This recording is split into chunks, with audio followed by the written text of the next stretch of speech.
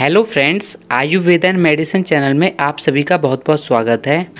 Friends आज हम बात करते हैं सिट्राजिन टैबलेट के बारे में। सिट्राजिन टैबलेट जो कि एलर्जी के लिए सबसे बेहतरीन दवा मानी जाती है और सभी प्रकार की एलर्जी को दूर करने के लिए इस्तेमाल की जाती है। आज मैं आपको सिट्राजिन के बारे में संपूर्ण जानकारी दूँगा, जैसे कि सिट्राजिन टैबलेट किस काम आती है, इसके क्या फ़ायदे होते हैं, कितनी मात्रा में आपको इसका इस्तेमाल करना चाहिए, और आप इसे घर बैठे किस तरह से मंगा सकते हैं, इस सब चीज़ की जानकारी आपको इसी वीडियो में मिल जाएगी। तो दोस्तों, इस वीडियो को जल्दी से लाइक कर दें। चैनल पर नए हैं तो चैनल को सब्सक्राइब करके बेलाइक आइकन को ज़रूर दबाएँ ताकि न्यू वीडियो की नोटिफिकेशन आप सभी को मिल सके। चलिए दोस्तों, अब मैं आपको सेटाइजिन के यूजेज के बारे में बताता हूँ ये किस काम आती है।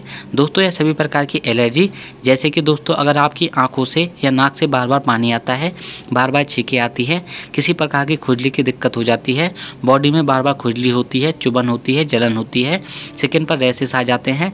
सभी प्रकार के रेसेस अगर आपको बहुत ज़्यादा परेशान करते हैं तो इन सभी दिक्कतों को दूर करने के लिए सिट्राजिन टैबलेट का इस्तेमाल किया जाता है। हमारी बॉडी के अंदर हिस्टामिन जब रिलीज़ होता है तो उसकी वजह से एलर्जी बन जाती है और जो सिट्राजिन होता है, वो एक एंटी एलर्जिक दवाई होती है, जो कि हिस्टामिन को पूरी तरह से ख़त्म कर देता है और सभी प्रकार की एलर्जी की दिक्कत को ख़त्म कर देता है।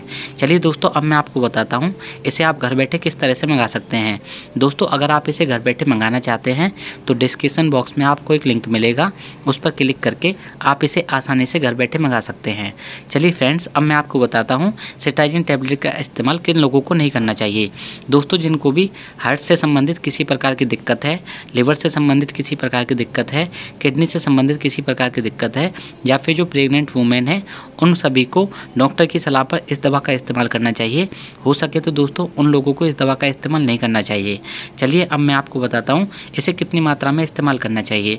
दोस्तों, जो अडल्ट लोग हैं, यानी कि 18 साल से ऊपर हैं, उन्हें टेन एम यानी कि एक गोली का इस्तेमाल रात को सोने से पहले करना चाहिए। इस दवा का इस्तेमाल करने से नींद आती है। इसलिए जो ड्राइवर्स होते हैं, उन्हें इस दवा का इस्तेमाल रात को सोने से पहले नहीं करना चाहिए, वरना उनको नींद आ जाएगी और उन्हें बहुत सारी दिक्कतों का सामना करना पड़ सकता है। इसके अलावा जो छोटे बच्चे होते हैं, उन्हें पाँच एम यानी कि आधी गोली दवा का इस्तेमाल करना चाहिए।